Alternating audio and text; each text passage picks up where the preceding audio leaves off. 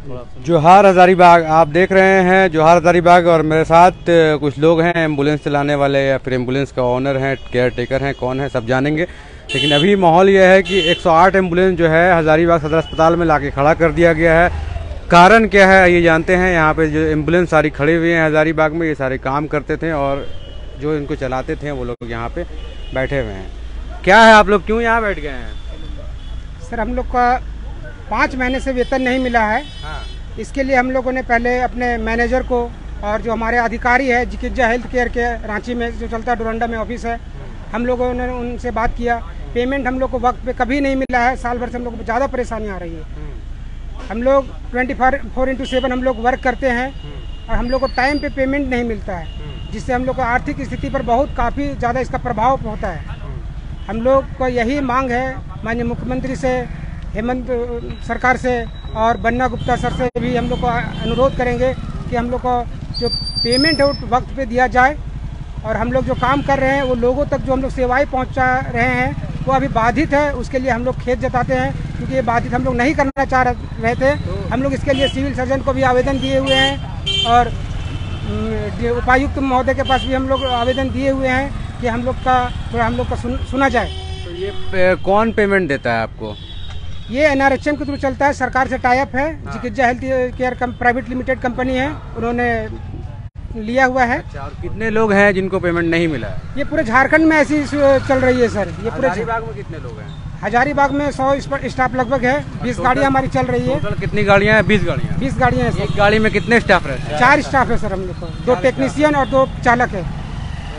क्या बोल रहे हैं? फिर से बोलिए। दो चालक का है और दो मेडिकल टेक्नीशियन होता है सर इमरजेंसी टेक्नीशियन टेक्नीशियन रहता है। जी। तो यहाँ सब बैठे हुए हैं आप लोग? जी हम लोग बैठे हुए हैं। तो सौ लोग यहाँ नहीं नज़र आ रहे हैं कहाँ? कुछ लोग अभी यहाँ पे नहीं है। हाँ। लोकेशन में अभी हम लोग तुरंत आवेदन दिया है डीसी मैम को उसके बाद हम लोग यहाँ पे अभी धरने पे बैठे हुए हैं। वो लोग आ रहे हैं। अभी कितनी गाड़ियाँ यहाँ पे खड़ी हैं? अभी यहाँ पे गाड़ियाँ दस बारह आ चुकी है और और गाड़ियाँ आ रही है लोकेशन से। जैसे चुरचू है बरही है बरकट्टा है दूर दूर है हम लोग सुदूर इलाके में ये सेवा देने का काम करते हैं इमरजेंसी तो ये जो इमरजेंसी सर्विस है ये कैसा है? पेड सर्विस है फ्री सर्विस है? पब्लिक के लिए क्या लगता है? ये पब्लिक के लिए सर फ्री सर्विस है। हाँ।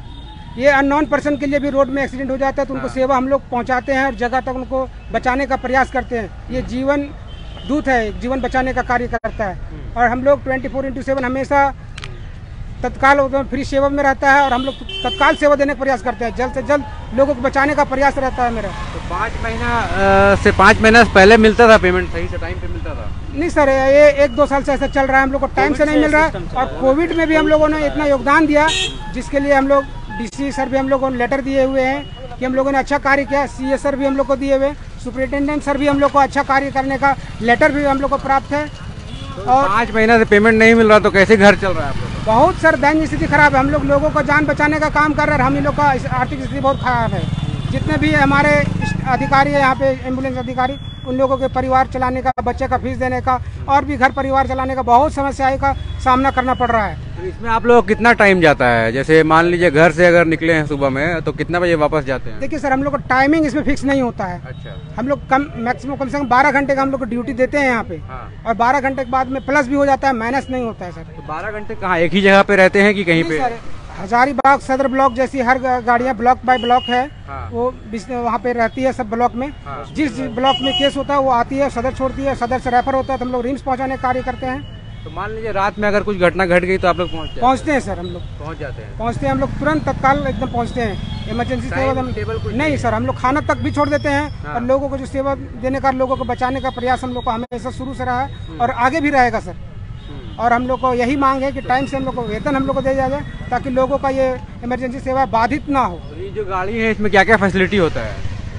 दो गाड़ियाँ सर इसमें एएलएस गाड़ी है और बीएलएस है। हाँ। एडवांस लाइफ सपोर्ट है सर उसमें वेंटिलेशन और मॉनिटर का सुविधा होता है ऑक्सीजन का होता है। और बेसिक बेसिक में है न्यूबलाइजर मशीन होता है हाँ। ऑक्सीजन होता है और फ़र्स्ट एड का सारा व्यवस्था है सर।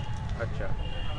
ठीक है तो देखिए, इनका डिमांड ये है कि पाँच महीना से वेतन नहीं मिला है और जिसके वजह से लगभग बीस एंबुलेंस बताया ना आप लोगों ने। बीस, एक सौ आठ नंबर की एंबुलेंस जो है, फ्री सर्विस जो देती है पूरे झारखंड वासियों को, पूरे हजारीबाग वासियों को, वो अभी सदर अस्पताल में इन लोगों ने लाके खड़ा कर दिया। आप देख सकते हैं यहाँ पे एंबुलेंस जो है किस तरह से खड़ी है और कारण यही है कि पाँच महीने से जो है इनको वेतन नहीं मिला है और जो लोग इसमें कार्यरत हैं, एक एंबुलेंस में लगभग चार लोग रहते हैं, दो टेक्नीशियन रहते हैं और जो ड्राइवर रहते हैं तो वो उनको पेमेंट नहीं मिलने की वजह से एंबुलेंस को यहाँ पे लाके खड़ा कर दिया गया और वो डिमांड कर रहे हैं सरकार से कि जल्दी से जल्दी जो है उनको पेमेंट दिया जाए। तो अभी आपने देखा किस तरह से ये लोग धरना पे बैठ गए हैं और सारे एंबुलेंस जो है यहाँ पे आके खड़ी हो गई है। और यही कारण है कि अभी जो ये लोग चाहते तो नहीं है कि इमरजेंसी सर्विस जो है वो वो बाधित हो, लेकिन फिर भी मजबूरी में पाँच महीना जब किसी को पेमेंट नहीं मिलता है, तब इन्होंने कहा कि वो कदम ये उठा रहे हैं। आप देख सकते हैं यहाँ पे, जहाँ पे मैं खड़ा हूँ, यहाँ पे सारे एंबुलेंस जो है ला के इन्होंने खड़ा कर दिया है और अभी खुद से धरना पे बैठ गए हैं। डिमांड कर रहे हैं कि इनका जो पेमेंट है, वो इन्हें ला के दिया जाए।